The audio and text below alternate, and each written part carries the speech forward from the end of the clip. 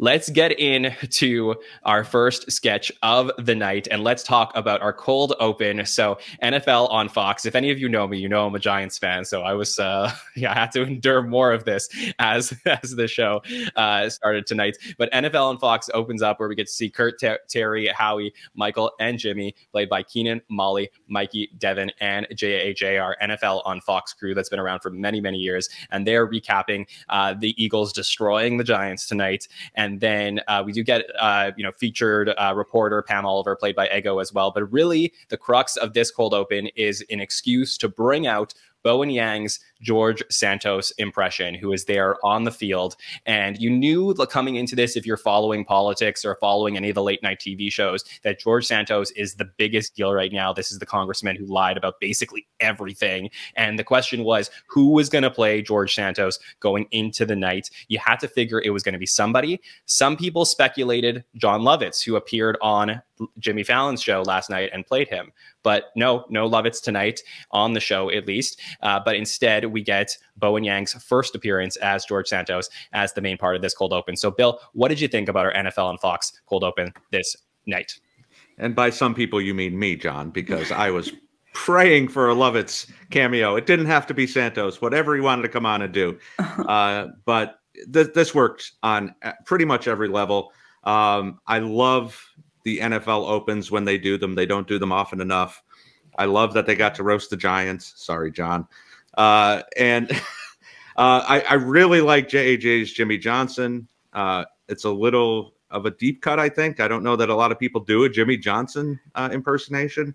And Devon's uh, Strahan was was very good as well. But then, of course, like you said, you know, we we get into the Santos stuff. A lot of good you know, rolling the the lies down that you know he had 17 rebounds and 10 RBIs, mixing his metaphors. Uh, said he was the real Bo Jackson, uh, and then it, it's not even over there. They go to the predictions and they talk about the Giants being upset and how he says, "No, no, I what I said was." The Giants will be upset that they lost. So I, I thought of you, John, when they said that as well. So overall, a lot of good impressions on this. Uh, a decent way to to cover a subject just like Will Smith last year that you had to cover. Um, it's in all the all the papers, as they say. So th- this worked.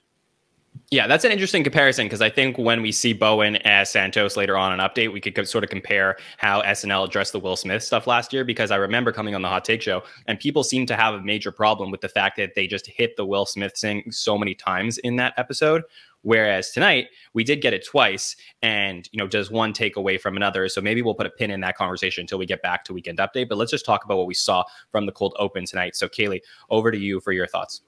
Yeah, I'm always a little nervous whenever it's like a sports or like a sports panel, just because it's not my world. I think you know if that is your world, that must be really exciting. It's just not mine. So I'm always like, oh no, am I gonna get all the references? No, I didn't know who everyone was. Although as soon as they showed Devon as Michael Strahan, I cracked up. There was like a glaze over his eyes and a slight head tilt upwards that it was just really it was hilarious. And Molly, I thought also really shown in this one. Um, they were both hilarious. I really like Bowen's George Santos, um, particularly when the surprise of the the drag character came back in. I I really really uh, thought that was um, a great uh, surprise. Uh, but yeah, so I, I got fairly won over, even though it was a sporty one.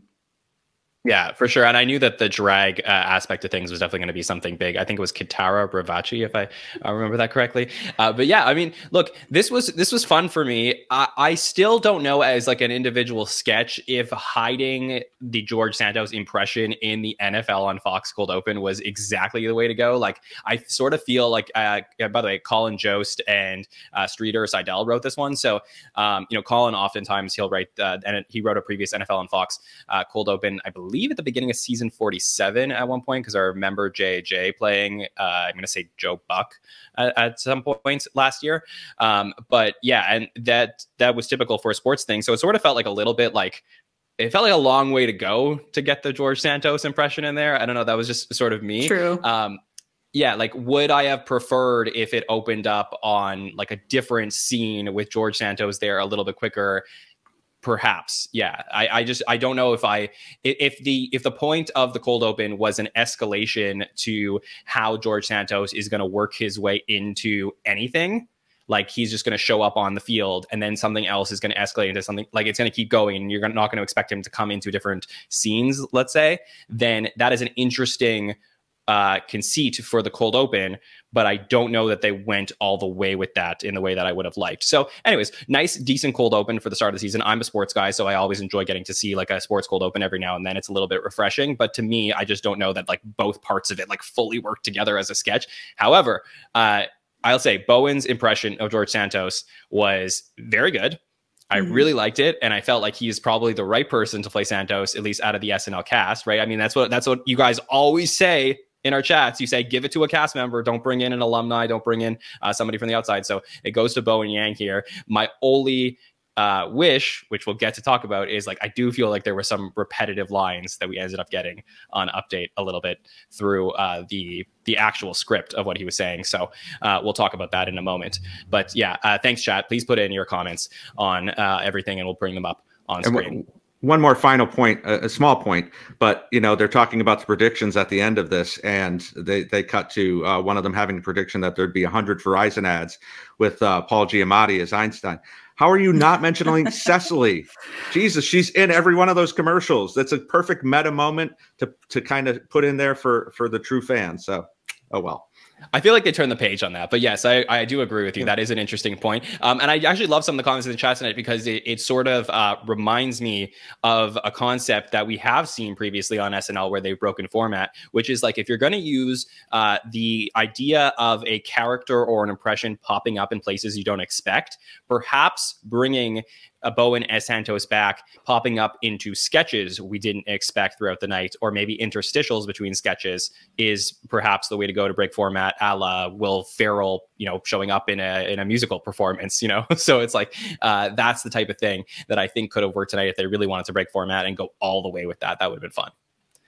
Okay, let's talk about this monologue we got tonight. So Aubrey Plaza finally hosting SNL. So exciting that she was there. This is written by your your usual monologue writers, DiCenzo and Nordwin, but also Rosebud Baker and Neil Casey coming back, former writer of Saturday Night Live, coming back, uh, writes this monologue tonight.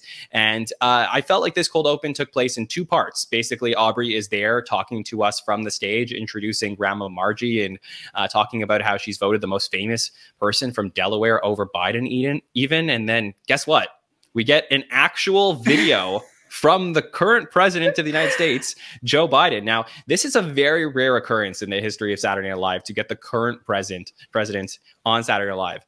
Um, this goes back all the way to season one where President Ford was in the Ron Nessen episode of the show and actually said live from New York it's Saturday night, broke format there in the first season. So Chevy didn't say it. We had Ford say it. And then season 20, episode four, we have Dana Carvey returning to host Saturday Night Live and we have George H.W. Bush there, uh, you know, saying they're joining him for the monologue, which is really crazy. And of course, Obama appeared before he was president. But uh, Bill, just before we get to the studio tour and we'll talk about all of that, what were your thoughts? I know you're just a historical SNL guy guy. So this must have been cool to see Biden in the monologue.